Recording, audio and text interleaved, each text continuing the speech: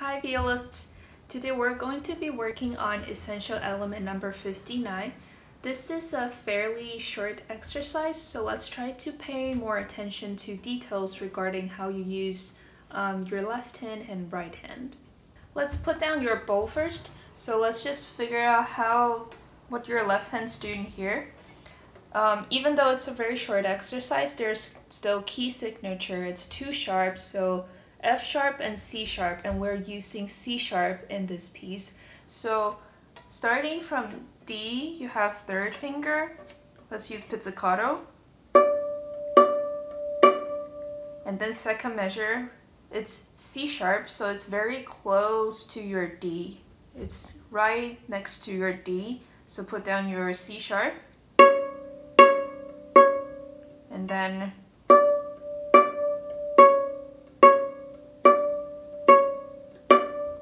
That's basically the two notes you'll be using, but just focus on the intonation of the C sharp and when to drop your D and when to lift. Now I'm going to have metronome on for quarter note equals to 50. So let's make sure that we do the right rhythm and make sure that our fingers are at the right place. So it's 4-4 four, three, two, one. Rest, second finger. Rest, third, second.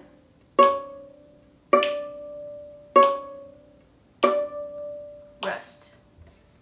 Now let's pick up your bow and since we're only using the A string, Let's just play a few open A string to warm up your right hand. So make sure that your hair is fully flat on the string to utilize all the hairs and have a full sound. And let's use the whole bow to explore every place of your bow. Um, feel the weight in your arm again, and then just play a few A open A string.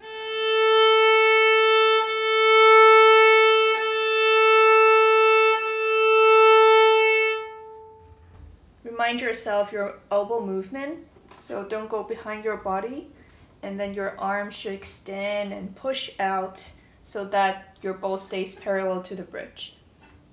Now let's put both of your hands together. And even though it doesn't say on the music, let's try to use full bow for every note. And if you think this exercise isn't too challenging for you, let's add on one more thing to think about um, which is the sound quality. Let's find a sound that you think is pleasant to your ear. And a few things that might affect your sound quality is um, how much pressure you're putting on your index finger.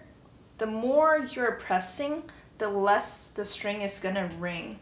So if you think that your sound is too compressed, um, try to release your index finger a little bit, still stay on the bowl, but just don't put, don't press this way. Instead, you use your arm to lead the sound. So it's the difference between this I'm pressing with my index finger and if I'm leading with my arm,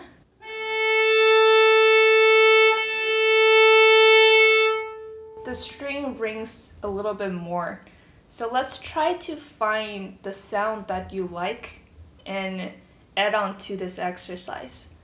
Now you can play along with me. I'm doing quarter note equals to 50 again and I'll do a repeat once.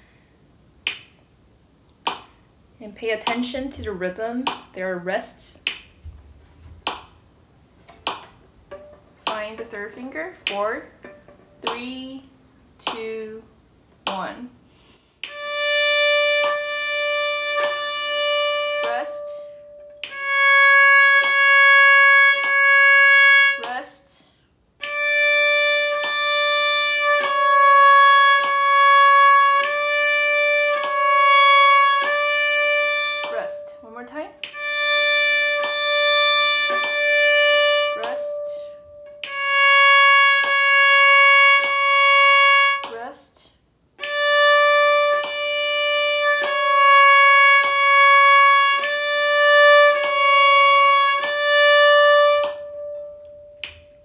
It for this video.